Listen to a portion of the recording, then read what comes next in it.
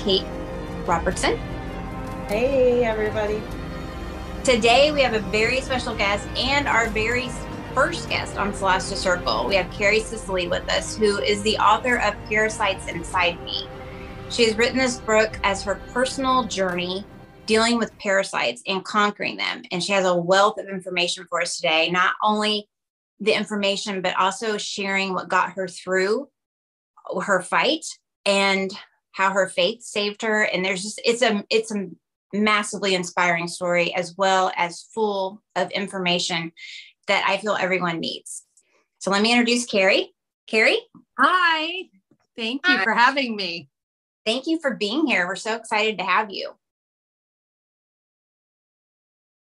What we've been through is an inspiration. It's just, Karrie, your book, I'm just telling you, it's intense. I keep saying this over and over, but I had to put it down several times. And I was making notes for this interview, and I was like, I'd go out there and I'd have to listen, I'd have to play a game of Ruzzle, or I'd have to like, you know, listen to some music or go talk to my mom or something because I was like, dang, this book is intense, man. Like it's it's taken me back to like certain things that I went through with doctors and the treatments and just the different things. And it was like, this woman has been through it and she is here to tell you about it and to help you with her knowledge. Her knowledge is astounding.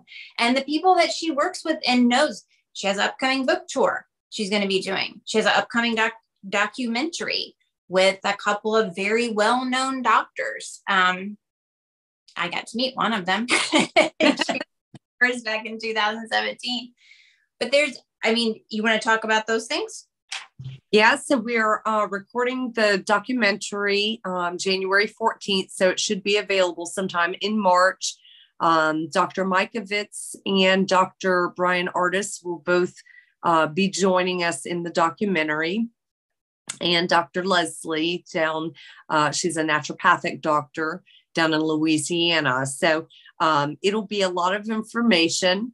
Um, there will be information about testing, um, testing for heavy metals, which is directly tied to all of this, um, as well as just information on how to safeguard you and your family and um, so that'll be coming out in in March sometime. So that's pretty exciting. Um, watch that. Uh, it'll be on uh, Vimeo. Okay. Mm-hmm. Most of you know the Vimeo is an app, and you usually have to pay a few bucks to like watch something. Correct. Correct. Okay.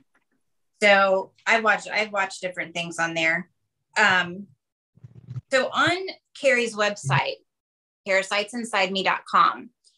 If you're curious if you have uh, parasites, she has a stool kit that you can get off of her site. And do you want to talk about that? Um, yeah. So we um, we have a, a a stool test that you can submit um, through PCI, uh, Parasite Center Incorporated out in Arizona. Um, you simply order your test. We do have a discount code on there.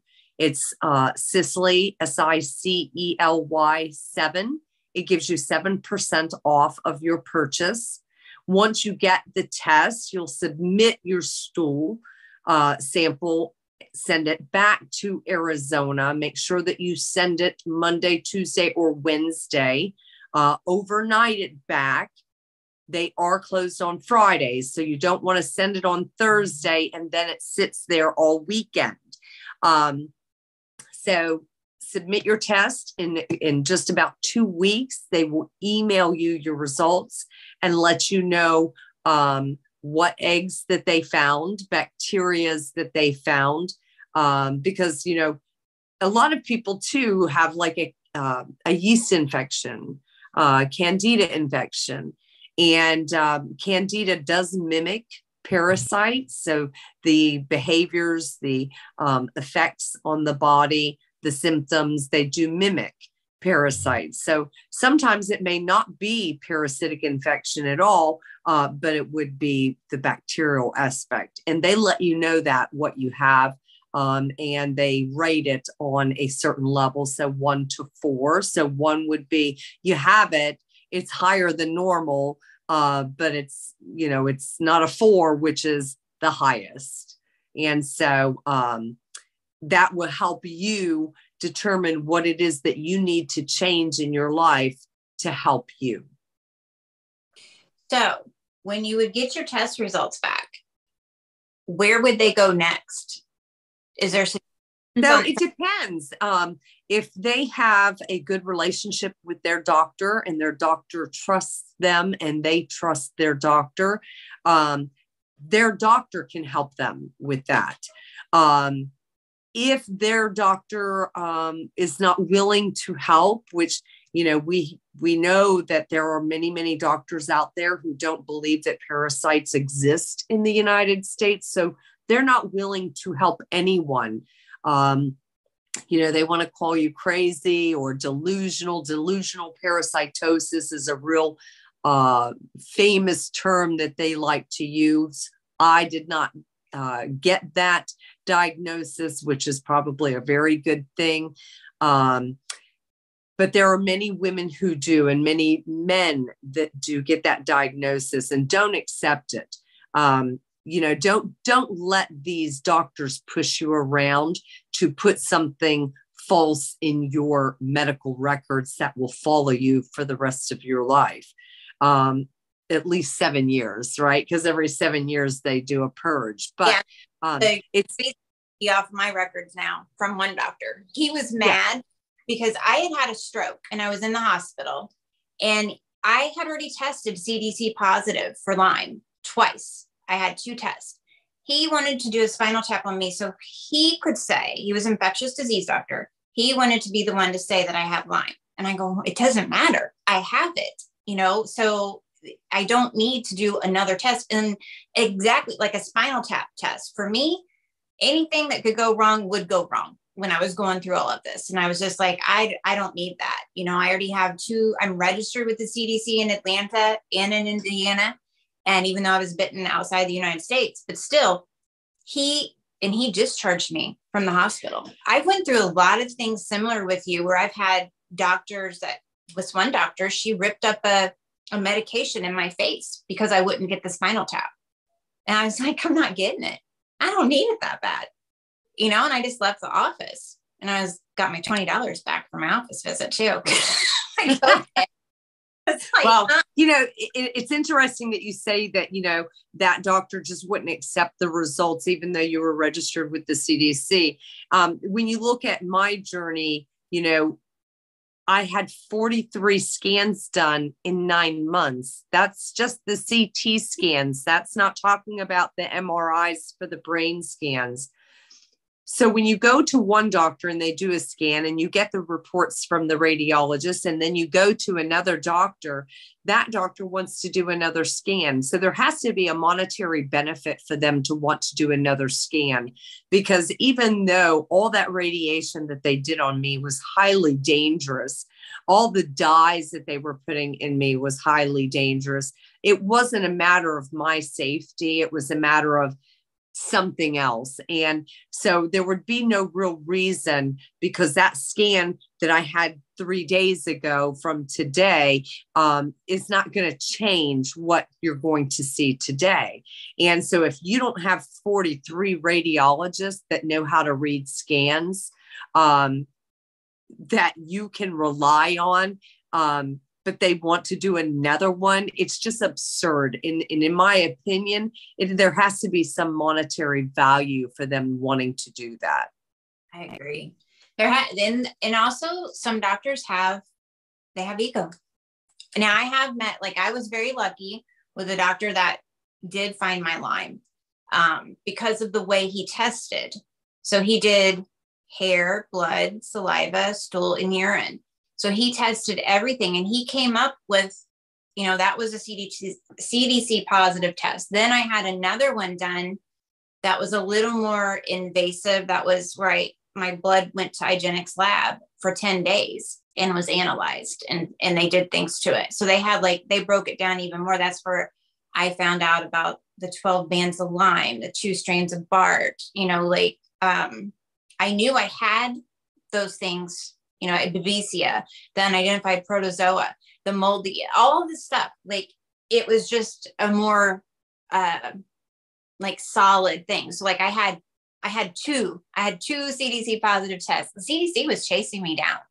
They were calling me, they were sending me postcards. I'm like, what do these people want? Like, you know, I'm, I, I, so when I, they were, they were wanting to know, you know, when were you bit? How long have you, how long have you been sick? This is like a, because my test was so like off the chain positive 12 bands of Lyme. I mean, like they were like scratching their heads. And I'm like, I haven't been bitten recently. It's been 16 years. And we figured that out from another test of when approximately when I got bit. And when I now, with all that I know about Lyme, you know, I was bitten in another country. So when I came back and I was sick, that should have been a red flag and i'm sure like with you there's when i read your book there's so many things it's like it's screaming to the doctors that there's something wrong. And they're even some of some of the doctors even encountered some things where they're like oh my gosh it looks like a worm.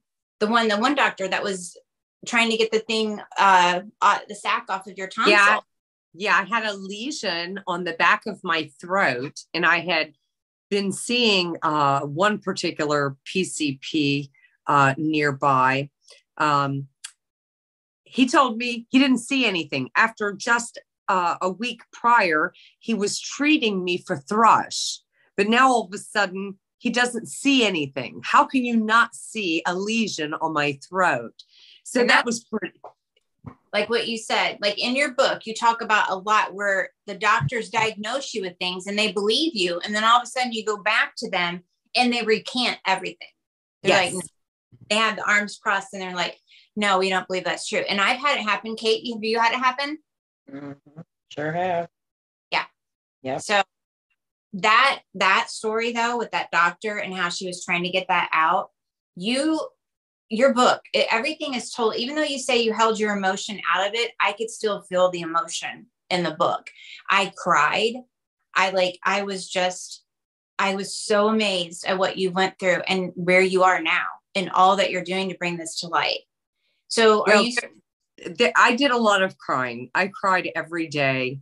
Yeah. Um, it yeah. was a, it was a difficult journey in every facet of life, and um, it was it was very very emotional. Um, you never believe that the people that you trust, the very people that you trust with your life, who took an oath to, to help heal you. And as soon as you say parasites, they discard you. They work to destroy your life. They give you delusional parasitosis uh, diagnoses. They right. Have diagnosed some people with, you know, schizophrenia or some sort of mental illness. No, None of that is true. It is all a lie. Uh, the facts are that, that we have people that are deathly ill and suffering. And these doctors who refuse to help, who cross their arms, who say it doesn't happen here, well, they need some help themselves because they obviously don't understand how the ecosystem works and where parasites fit into the ecosystem. They obviously don't know about the chemtrails being sprayed with heavy metals and lithium that we're inhaling, that's coming into our water, onto our food. Our cattle are grazing the very yeah. heavy metals. and so that say that that's a conspiracy theory, chemtrails. But I will tell you this: I read an article just recently where NASA came out and and said that they have been doing the chemtrails. Well, and they also admitted they're spraying lithium. Yes. Um, and then we've seen uh, Tucker Carlson. I think he's like one of the first people to ever talk about these things taking place in the sky in the relationship to uh, I think it was Bill Gates he spoke about. Um, but you know, until these doctors wake up and understand that we are heavily toxic with heavy metals, making us the hunted, until they wake up and realize what the truths are, you know, there's going to be those very few doctors that will help you um, as a sick patient suffering from parasites. Um, outside of that, you know, you're going to have to go to a holistic doctor, um, a doctor who did get education in parasites, uh, who do understand how to use the natural elements of the earth to heal you. Um, and so there are ways to get the help that you need, but it's going to be the persistence of the sufferer that's right. going to take them there because, you know, we can sit here all day. Uh, we could sell a million books, but until people actually take the first step to heal themselves, you know, it's just all for naught. Exactly. And it's, you know, a lot of it, like just, you know, like you talk about detoxing, that's part of a Lyme protocol as well. You have to, you have to detox doing salt and baking soda baths. Um, you have to, uh, your diet, you know, your, your water, your exercising, your sleep, like all of this is important for maintaining your health you know? Um i i don't go to fast food. Um i'm not bashing fast food but i'm just saying i eat very clean. And anything that goes in or on my body is clean period. And yes it is expensive to do that but i've already lost my health once. I'm not doing it again and i'm sure you ladies feel the same way and many people watching I feel the same way. I'm sure Kate feels the same way. Yeah, absolutely. Kate, you're being and- kind of today.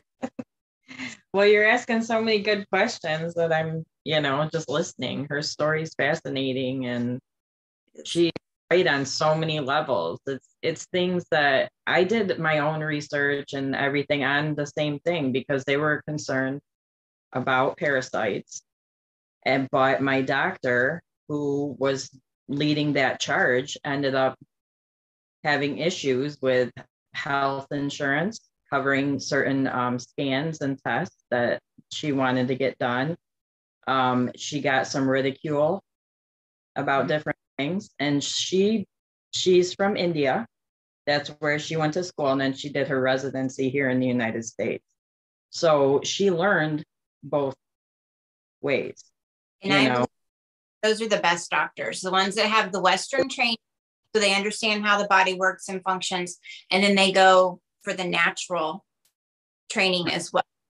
And so, um, and even what I think a lot of it is, you know, other countries, you know, when you're talking about like the Netherlands, Vietnam, um, India, Egypt, Iran, Iraq, Mexico. When we look at these other countries, even Brazil, you know, those doctors all get lengthy, in depth training about parasites and the pathology of. Um, they understand because, you know, in their communities, it's not a hidden secret like it is here in the United States. Everybody wants to keep it quiet.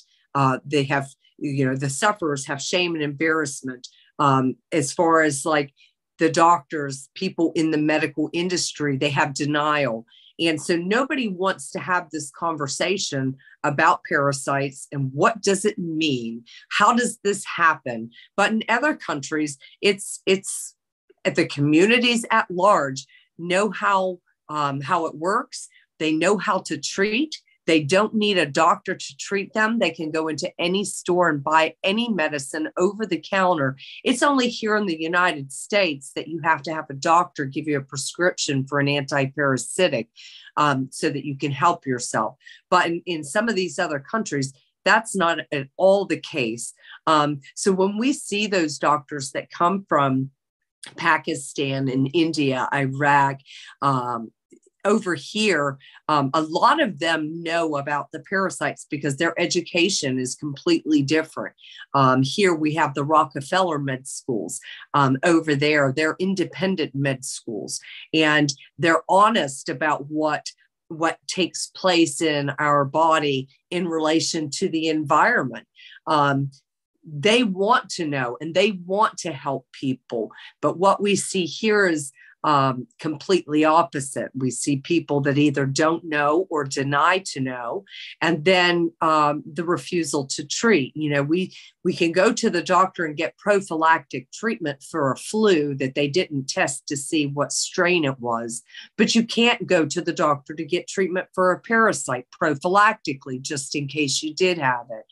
Um, right. And so it's kind of a double standard when you look at, you know, the good doctors versus well, the not so good doctors. And it took me seeing a lot of doctors um, in a lot of places to get my team of doctors together to help me. Mm-hmm. And um, it takes a lot of work. Um, I actively seek out doctors who are educated in other countries because I don't want that doctor that received Western Rockefeller medicine uh, training. Um, I look for those doctors that were educated in some of those uh, countries that I stated. And um, they, for me, have been the best doctors to assist me in getting well. Now, I, I did do in 2018 and 2019, I did interview a lot of doctors that they were Western and I, I say Eastern, Western and Eastern train because Eastern is natural, a nat- more uh, holistic and homeopathic path. And I, I searched out people that from all that that treated all different things and they had all different paths to wellness because I wanted people to have resources for that. And so, you know, and I I believe I'm a hard a hard sell.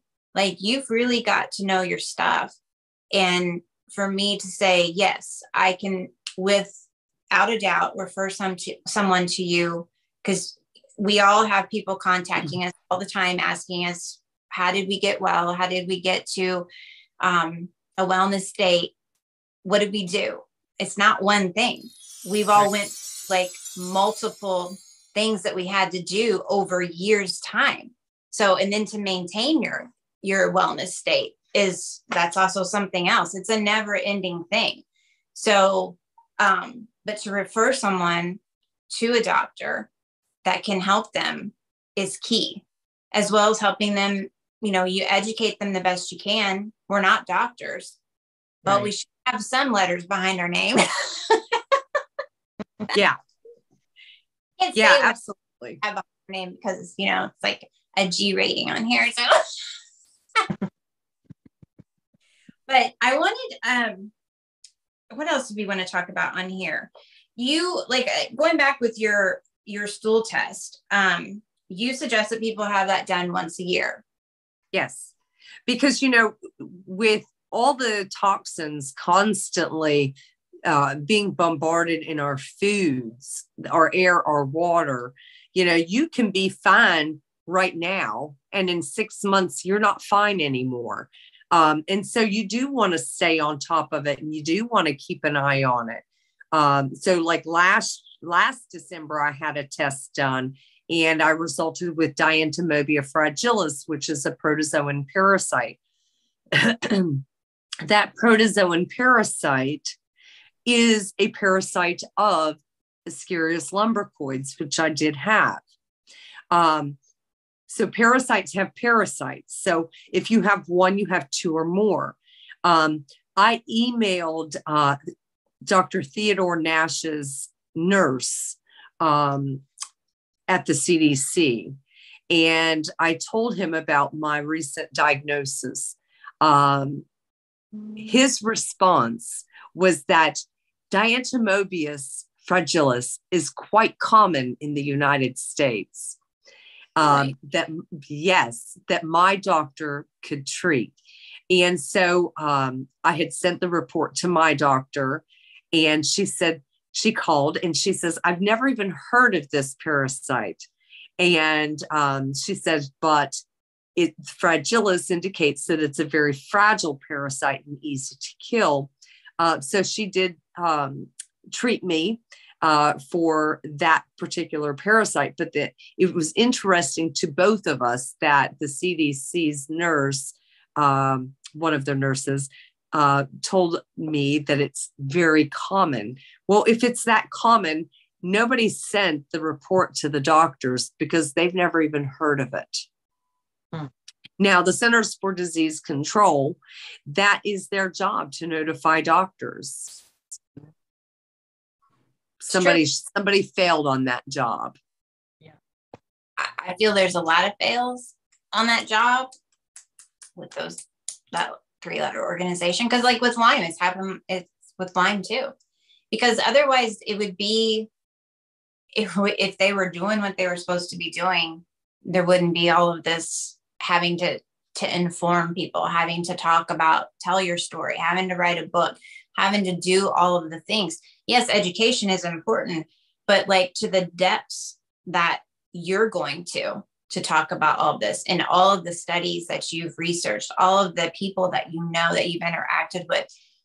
This it's mind blowing and you are you're a book yourself with all of the things the the the parasites that you like the word i don't even know how to pronounce them i have trouble with some of the the medicines to treat like i'm having a good brain day then that's good but you know um so i wanted to talk about like another key factor here with people when you're going through this you had a great support system you had a great husband, you had great family members that were helping you. A lot of people don't have this. And so what is your what is your thoughts on that? What is your suggestions to them? Well, I talk about um, a little little glimpse in my life through this journey. Um, initially, you know, I didn't have the doctors that were believing me. I didn't have um, even my husband was having difficulty believing that this was even possible. Um, my children still uh, believed me. Uh, my sisters, my mom and dad, none of them ever came out and said they didn't believe me. Um, and I had one sister that called or texted me every day just to te- check on me to see how I was doing because emotionally I was I was gone, you know, I mean, it was, it was very difficult. Um, and so I did separate myself from everybody for a little spell. And I did that uh, emotionally for me because I needed to gather my game plan. I needed to gather my thoughts. I needed to come up with a plan of what I was going to do, how I was going to do it, and who was going to help me do it. And um, I didn't have those answers right off. I had to, again, turn it over to my God and let Him guide me. And He did. When I felt um, the message come to go left or right or whatever, I did whatever uh, would hit in my brain. And um, it's a it's a matter of just listening to the messages that we get from our Savior, uh, because He can do all things and through him we can as well um, and so there was a time frame where i did separate myself even though like we were all in the same house um, i just wanted to be left alone i sat on the porch uh, trying to figure out what was going to be my next move and how was i going to do it um, so for the people that don't have that support, I get it and I understand that. And sometimes, sometimes not having people bombard your your space in your mind is sometimes better. Take that time to reconnect with your God, to understand what is happening and what does God want you to do and how is God going to lead the way. And so take that time that you are alone, that you don't have those doctors that will listen to you, um, or you don't have the family member saying, I'm sorry that you're going through this. I don't know how to help. Um, because they don't. People that are in your life, they do not know how to help, and they're at a loss too. So, uh, looking back in hindsight, I can say don't be so hard on them. Um, you know, because I was, I felt like nobody was fighting for me. And what I learned was that they couldn't have fought for me. It was my fight, it was yeah. not their fight. And when you understand that, um, we came into this world we got to go out alone and there are fights that you have to fight alone. And so um, understand that you know when you have a doctor that don't know anything about parasites they don't know how to help you. And it's the same thing for your family member even more so because they don't know about parasites either. And they don't have the medical education or the knowledge to even think about helping. Um, and so they can't so don't beat them up so badly. You know, I talked to my son after um, all of this, and, and we have cried together. Um, I'm sorry. No, it's good. It's a soul cleansing. It's letting it out. Because, you know, he, um, and he told me, he said, I didn't know how to help you. And, you know, so me being hard on him, um, you know, it wasn't, it wasn't about him it was about me. And sometimes we have to find our fight alone. And uh, thank goodness I did. I found my fight and uh, I took it you know but we can't we can't blame uh, everybody around us who doesn't understand um, how to help us or what to do we can't blame them um, and when you're so, out of it, like all of us have, I think you start gaining perspective that like you weren't the only one going through it. You were facing the hard part of having mm-hmm, to, but everyone that loves you and is around you, they were going through it in a different way. Yes. And it's like your son saying that, you know, he he couldn't help you. I've had conversations with my kids where I've like, you know, they're like, it's nobody's fault, you know, right. and right oh, you have Lyme rage with Lyme. You go through that because when it gets in your brain. And I apologize to them for times where I, I know I had spoken horribly to them. And there, yeah. he was like, Mom, if you were really like that, we wouldn't still be talking to you. Mm-hmm. So, but they all, everyone after, you know, you, you're in, you're getting into, you know, you're well in the state, you're getting into, you know, things are settling down. Everyone is healing. You have to go through the healing then from going through that. You go on your journey, then your kids go on their own journey. Like they're all it's, it's the healing, and you yeah, finally. and the dynamics for every person is different, you know, just like my yes. son, you know, he wanted to help, but he, he's, you know, he's 14. What's he going to do? You know, and my husband, same thing, you know, but he didn't know what to do. And so, you know, I took my anger out on them uh, because I felt like nobody was fighting for me, but it wasn't their fight to fight. It was mine. I had to fight for me. And, um, you know, once you do that and you stand up to some of these doctors um, and you get your courage to speak your truths, and that's what this is all about is our truths. There will be nobody who will deny my truths because they are not uh, they have no place to deny it. These are my truths. I know them to be true. And, you know, there is nobody in this world can who can deny my truths, just like nobody can deny your truths. And it's important uh, what I learned, and you know, of course, I didn't ever accept uh, any doctor who uh, belittled me, mocked me, made fun of me, gaslit me, and those all these doctors and nurses have done that. Um, but I got the last laugh because while they did nothing, I did something great for myself. That's right. You know, and so um, they get to live with what they failed to do, and I get to live with what I was able to do through the guidance of my God. And yeah. hopefully, hopefully, the doctors will learn something because if someone came in after you with the same symptoms and having the same issues, hopefully they were reminded of you and are like, well, maybe there's something to this.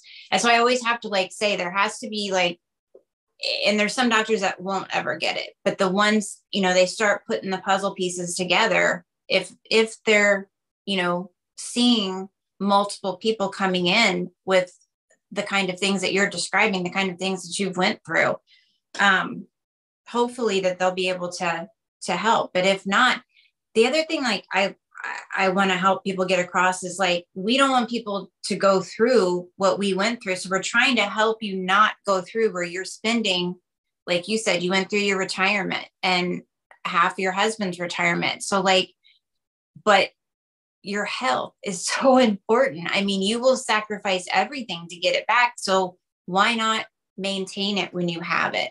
This is why we're doing all of this stuff. Join us next time on Solasta Circle with part three of the series with Karrie Sicely. Karrie will go on to talk about her upcoming book tour for Parasites Inside Me. She has a book signing at an event coming up called Controlled by Parasites, and she also has an upcoming documentary. And she'll be talking about anything else that she wants to discuss. She has a lot more information and insights to share. So join Angie and Kate once again with Karrie Sicely for part three of this interview on January 12, 2023 at 7 p.m. Eastern Standard Time.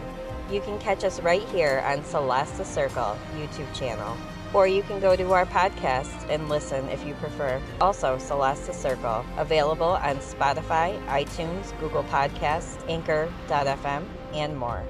So until next time, thanks for watching and listening. We'll catch you around the bonfire. Don't forget the marshmallows.